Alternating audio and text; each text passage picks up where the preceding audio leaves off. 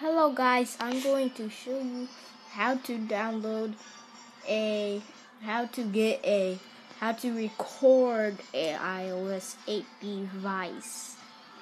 First, you want to go to emu4ios.net.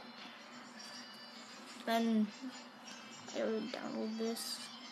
Then it's gonna load right here. And then want to go down here and then go down here and then you'll find Shou TV and then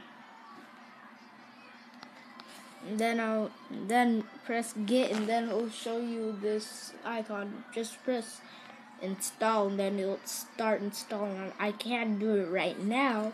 It's because if I download it like two times it'll delete the one I'm recording and then I and then the recording will end.